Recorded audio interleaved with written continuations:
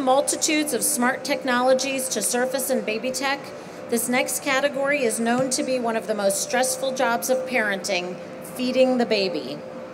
There's been a massive growth in the last couple of years with many leading edge innovations arriving on the scene with new forms of feeding solutions. Joining us to spotlight these innovators and lead this discussion is on air tech expert, writer, and founder of TechSesh.com, social media influencer, and soon to be first time mom, Jessica Naziri.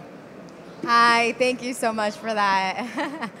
Thank you all. This is so exciting to be here on stage this year. I've been attending CES for the past nine years.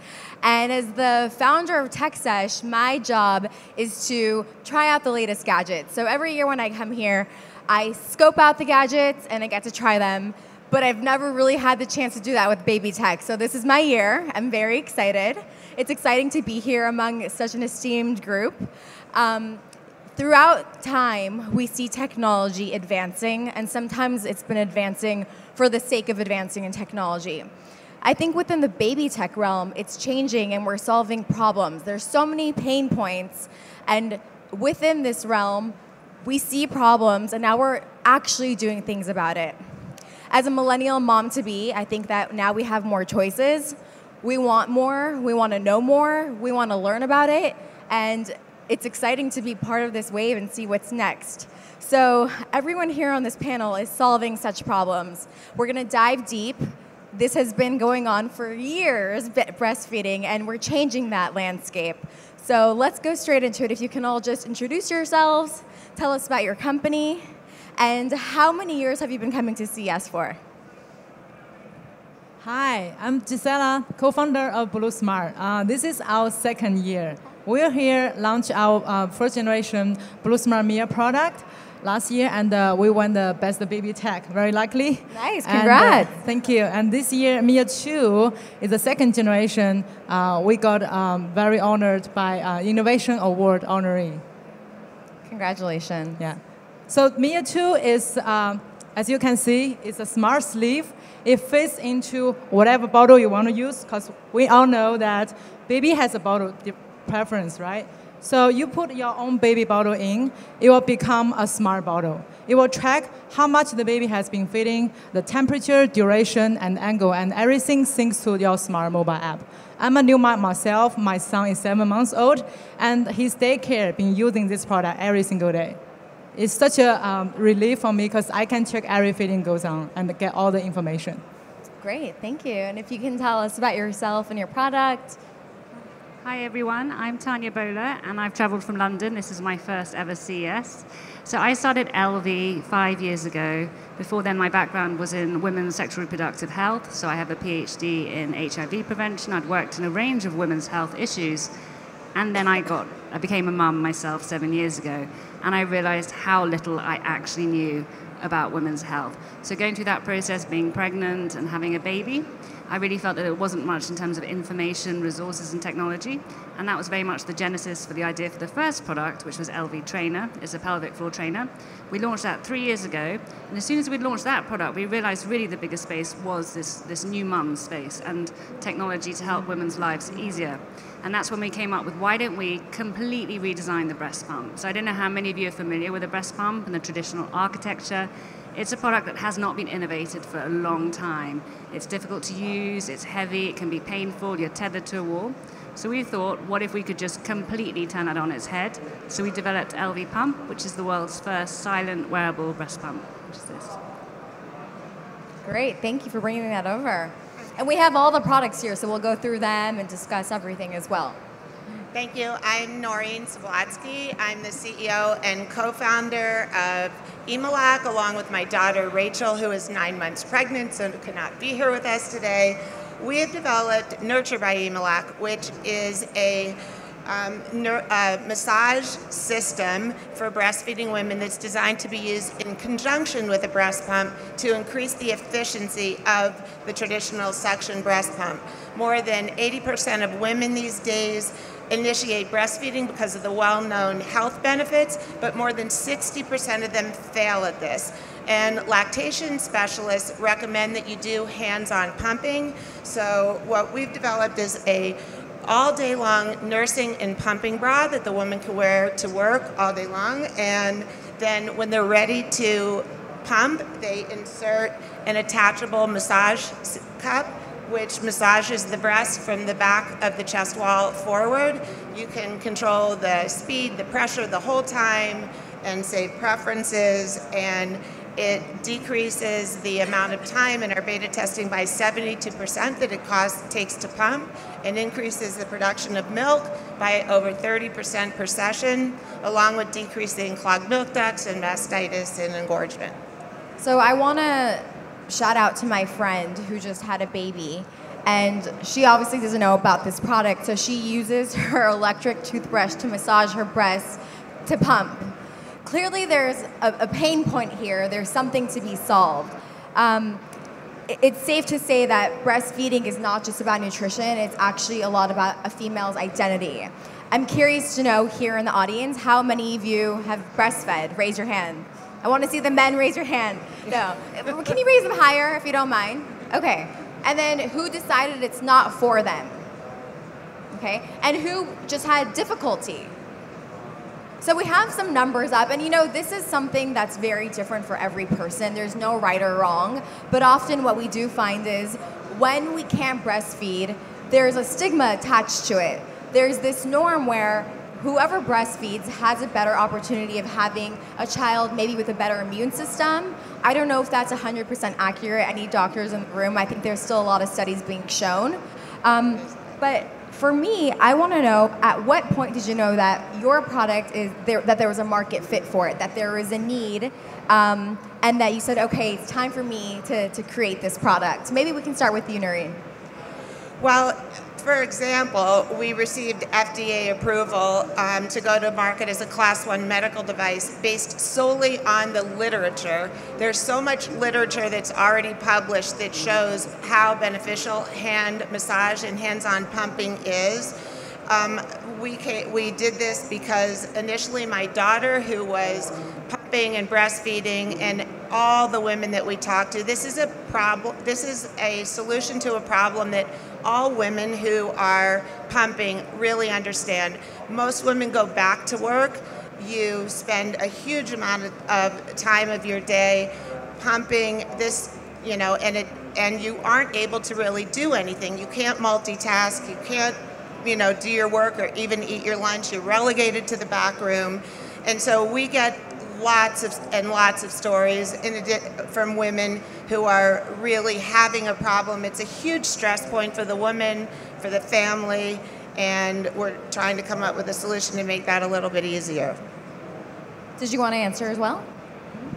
Well, for me, uh, when I started Elvie, I then got pregnant with my second child. So it was very much personal experience of pumping and having to go through using this technology, which was difficult to use and had not been innovated in for a long time. So it was actually, I was very angry, like angry that I had to put up with such bad products. We had launched the products, our first products, we were thinking about the breast pump. So in terms of how did we identify a product market fit, obviously it wasn't just based on my personal experiences.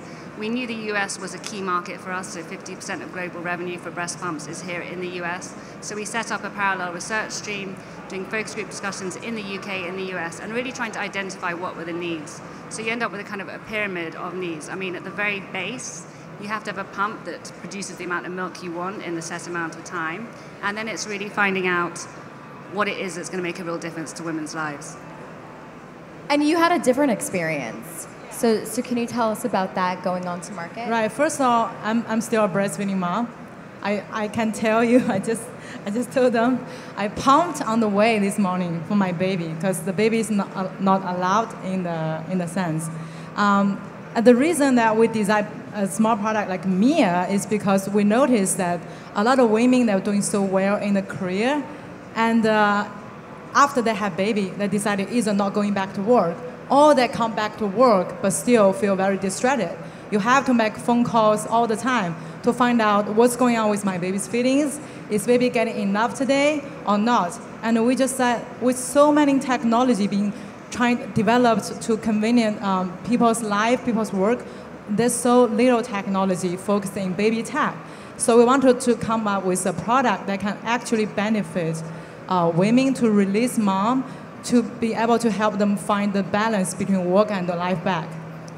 Exactly, balance. I think a lot of this has to do with balance and finding what's right for you. So, when it comes to bringing into the market, at what point did you say, okay, this is the sort of product on the market that I know will do well? You know, was it you sold a certain amount? Because I know you're already in the market in the UK, you're coming here now. Or when did you say, okay, this is something that will, will work? Yeah. Yeah. Well, so a breast pump is a medical device. It's a category two medical device, so it involves a lot of rigorous R&D.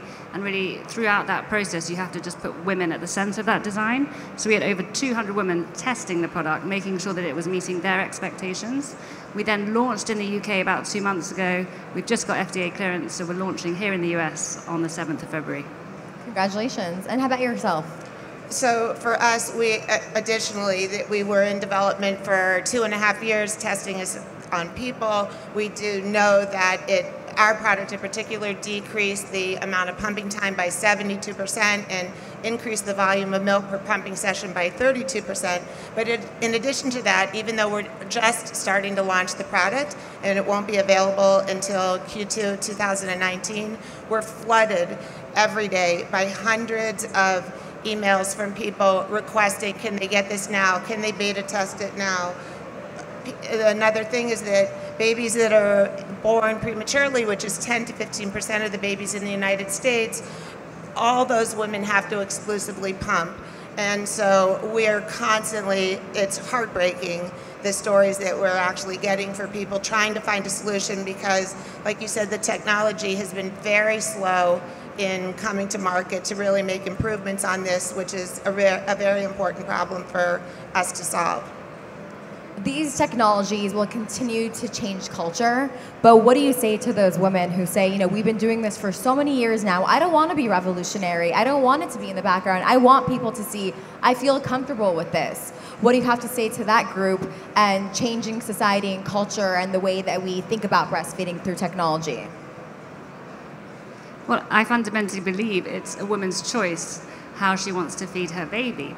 So for women who don't need to use a pump or don't want to use a pump, that's absolutely great for those women but more than 80% of women do use pumps. And also, more critically, when you ask women who, after they've had their babies, more than 80% say that they regret how early they gave up giving breast milk to their babies. So, if we can just make a small impact on that number, if we can just help more women fulfill their needs around breast pumping, that's making a big difference in terms of for the health of the baby, for the health of the family. I'm going to play devil's advocate here both your products are meant to be discreet. So no one knows you're pumping. You could be at work and pump. What do you have to say to those people like, I want to be out in the open. It doesn't matter. We're living in the Me Too movement. Why do I have to hide feeding my baby for free, by the way? Um, what do you have to say to them? Are we, are we going back on all these movements we're going forward towards? Well, do you realize that breastfeeding in public just became legal in all 50 states within the past six months. So whether, regardless of what the woman feels about it, there, especially in Western society, there is still a stigma uh, attached to it. In fact, yesterday we did a live activation of a woman breast pumping, two women in our booth. And even though we did it to make a statement that it is okay to be doing this, and I, we love the publicity, but I do have to say that we were featured as in two different articles as the weirdest thing that was happening at CES of all the weird things and unusual things. So it's still we have a long way to go, whether regardless of how the woman feels about it. To, in our society to really normalize this and to make everyone understand that this is a health issue, that this is okay, that people need to be able to be breastfeeding or pumping wherever they need to do it or wherever they're comfortable doing it. And I would play devil's advocate and say there's a big difference between hiding and discreet and hands free. Women want a discreet and hands free pump so that they can get on and do whatever it is they're doing in their daily lives. And I would say that is empowering and it's very much a feminist uh, brand to give women back that confidence and control. Absolutely. Now, some would say we're just getting started in this realm of mom 2.0. Um, of you know wired babies. Where would you say where we are right now? Are we at a tipping point? Um, why now? Why are there so many different uh, people coming out into the market changing the functionalities and the formalities of all this baby technology? Maybe you can answer Can you can you can you repeat? Yeah, why, why are we? Why is this starting now? Why, after you know maybe the past like four years, I've been coming to CES often. I see there's a really big presence in the baby tech sector. Why is this happening now?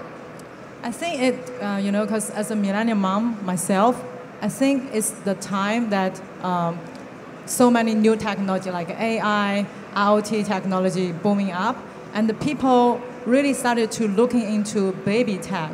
And uh, except for baby monitor, what else you have now, right? And also because the modern days we just become busy and busy, also data that so many more women choose to go back to work after maternity leave. So I think we deserve to use a little bit technology to make our life easier. Our, one of the mission of um, Blue Smart is doing is that we just simplify parenting. That means that we deserve to use more tech product to just get a little bit extra out and uh, take the guesswork out. Like you have Mia, so you don't need to, to guess what's going on with your baby with other caregivers. So you can focus on work. And uh, I'm a mom, but I want to be myself also. I want to be able to continue purchase my career dream while be able to find my family and baby is taken care of. So it's like you get assurance. So I feel um, baby and the kids and the family technology, that, that is why it's been booming. Like with people like us, we wanted to help, you know. You brought up a great point where we're taking out the guesswork. I'm now six months pregnant, um, my first child, and I didn't feel kicking until last week. So for a long time, I was worried. I had no idea what was going on. I was convinced I should call my doctor to make sure everything was okay. And yesterday, I walked on the show floor. I've seen a lot of iterations of previous years, but I saw one device where I would strap. Um, I would strap a device on me and then it would check the baby and I would have results in the morning through an app. So we're empowering women to have all this technology and feel assured, they can rest assured that everything is okay. But also, I can see people going a little crazy with too much data. Maybe we're giving too much information to moms now. It's not a medical device. It's just a monitoring device of how many times the baby kicked, how I slept throughout the night. But with this technology, there are some dangers as well where we have to make sure there's a fine line between a medical device and a monitor. And when we give too much power to moms, I myself might go a little crazy. Where do we stand with that? And how do we make sure that everyone's, you know, complying and everyone feels good and kosher about everything that's in their home and their baby?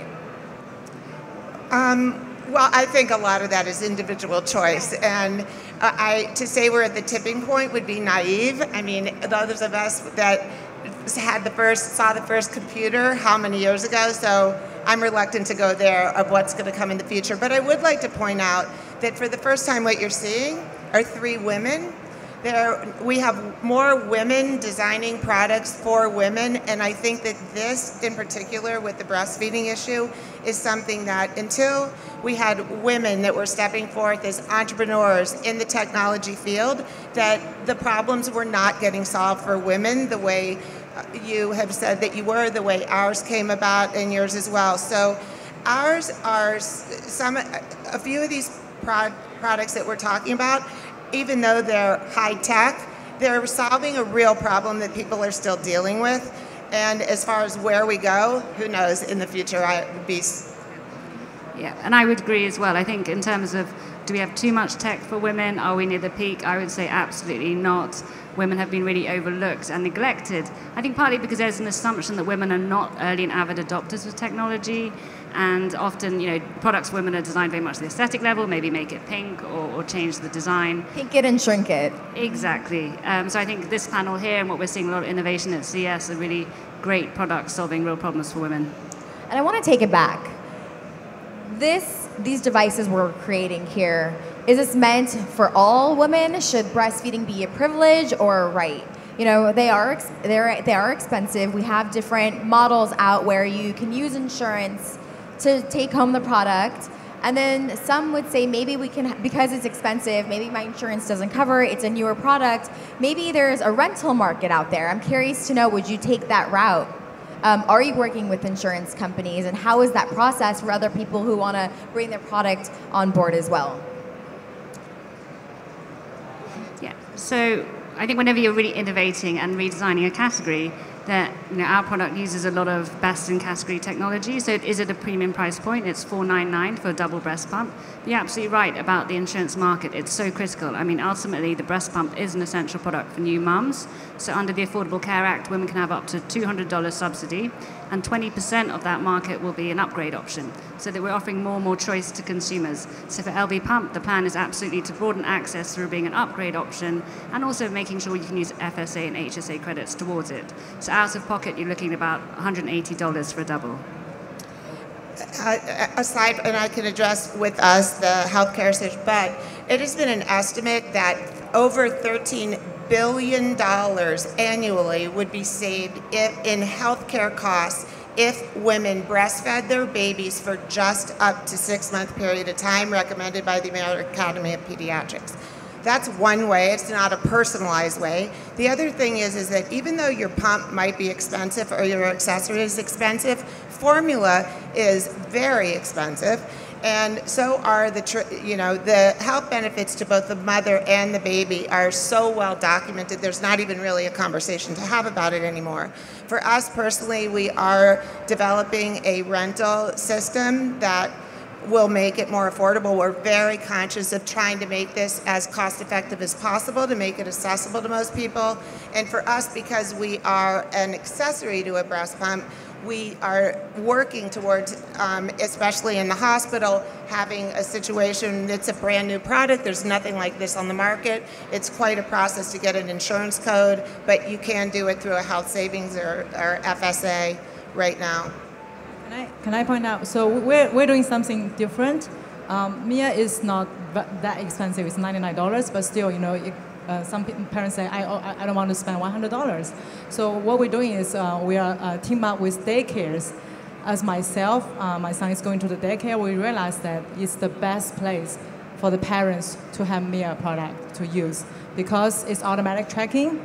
You know what's going on with your baby's feeding in the daycare, and uh, all the data is, um, is passively generated. And uh, in a way that you don't need to buy a product, you just, you know, download our app and sign up an account. You pay like $10 a month, you can, you get all the benefits. And then through the app, you track all the feeding and the time. Even diaper everything. changes. Oh, even diaper you changes. You have everything. Yeah. So how does that work with diaper changes? Oh no, the diaper changes is like we develop an ecosystem for the daycare to use. Oh. So you, you have a dashboard.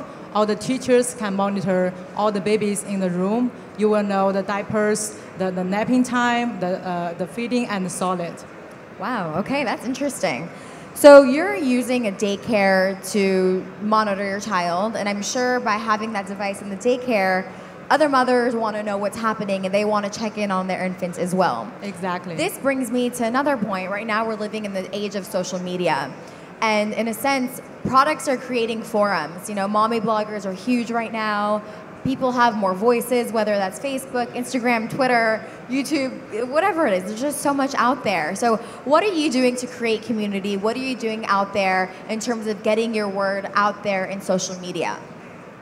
So, we, we already teamed up with uh, a bunch of um, influencer moms on YouTube and Instagram. So we, we will send them product to review. That's what we're doing now. But also, um, you know, from time to time, we're doing some campaign, like uh, we did like a Brave Mom campaign, or like, you know, um, sharing the positive story about parenting, because, you know, you heard so many negative stories about like how awful, how tired you are. But, you know, having my baby, I feel like it just brings you so much joy. So I want to encourage you know those women who hasn't become mom yet or just struggling because you, you heard a lot of like uh, you know mm, after maternity, like uh, the disorder or depression, right? We want to encourage more women. We want to encourage them to step back to the normal lives, find the balance back, and also, you know, to be able to become a working mom, become a happy mom. So that's what we're doing now.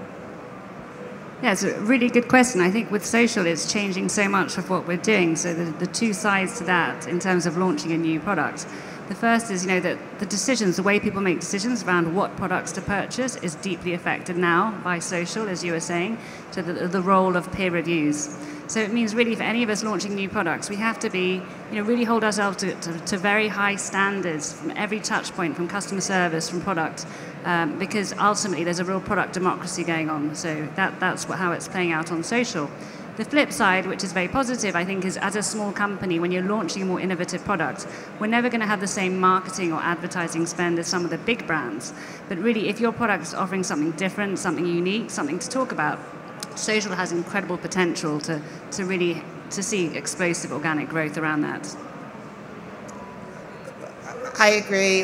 This is the biggest focus. Luckily, our demographic are young women that are more tech savvy. They are online. They are on social media. They are belonging to mommy groups and blogging groups. They do look on Facebook and Instagram and Twitter, and we have a very active campaign. And I think it's a lucky time for people in this market that we are able to reach a very broad market through social media and reaching out to bloggers and influencers and doing our own than than we had in times past. So this is a way that technology is very much working to our advantage to be able to to have a startup company like this and still be able to reach a broad range of people that we ordinarily would not have been able to do with a, a, the, the, the budgets that we have.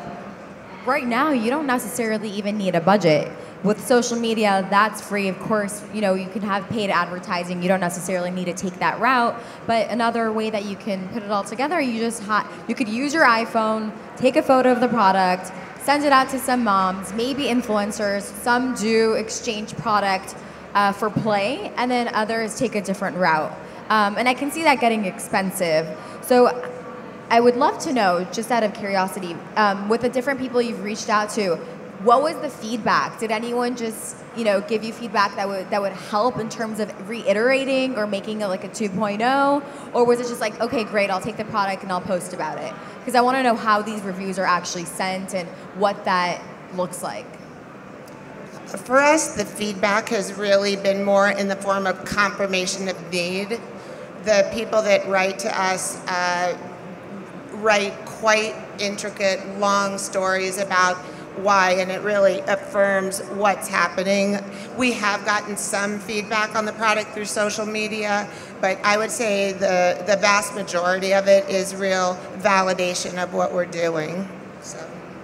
Yeah, so we've just launched in the UK. It's been about six weeks. So it's about getting the product out there. And what we're finding in terms of influencers and how they're posting is ultimately this is a completely different pumping experience. So it's totally hands free. So you can do things you never could have imagined you can do whilst pumping. So we have people sharing all the times kind of all the, the new crazy things they're doing with Elvie Pump. Just last uh, a couple of weeks ago, we had a woman who was getting married so she had her dress fitted so she could be pumping as she was going down the aisle. We've had women who are on holiday in Ibiza in their bikinis. So it's a very liberating thing, and they're quite excited to be sharing. And that's good Look publicity. Yeah. It's fantastic, yeah. We, we, we heard a lot of influencers told me like, oh,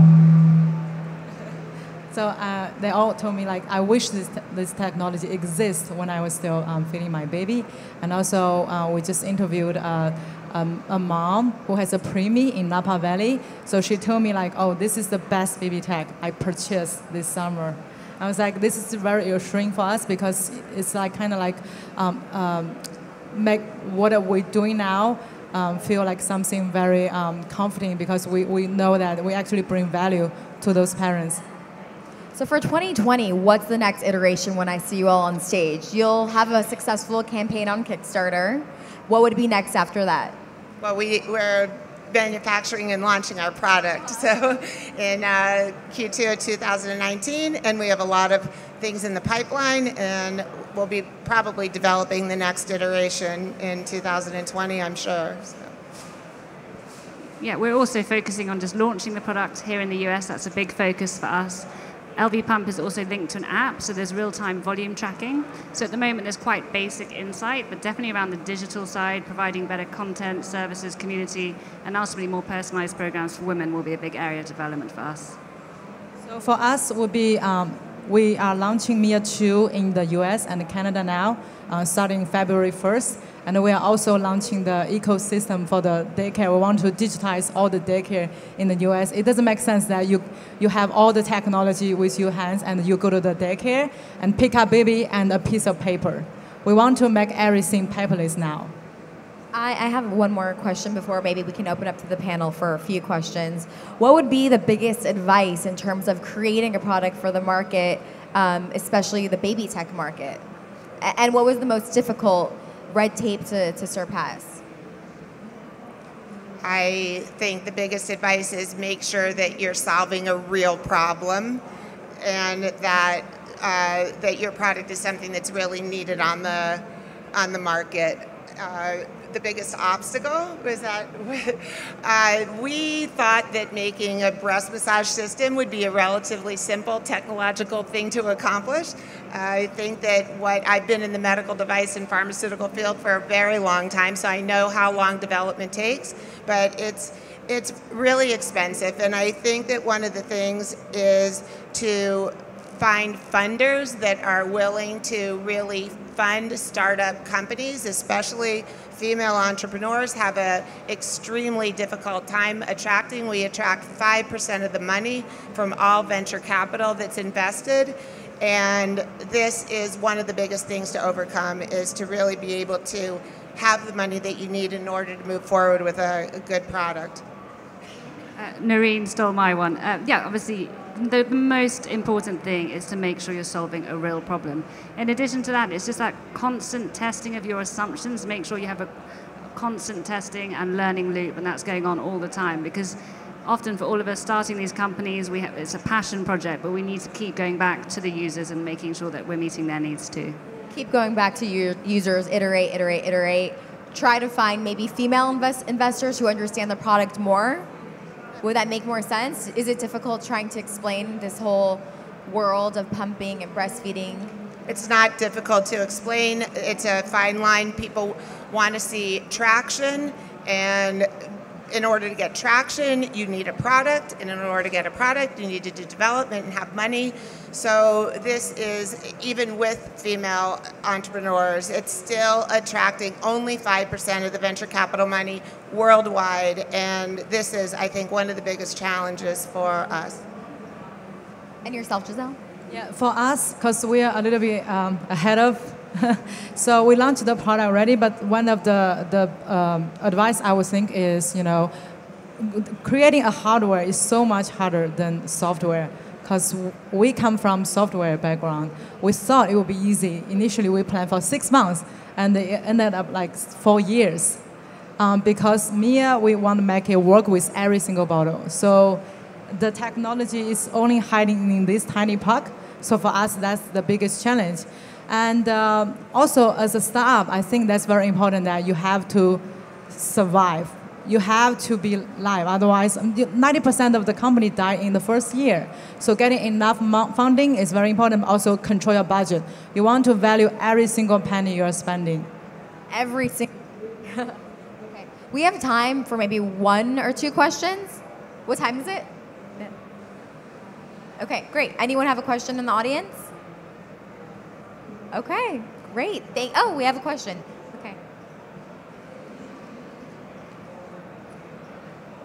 Um, you are all very great women innovators um, who make many people's, many parents' life simpler.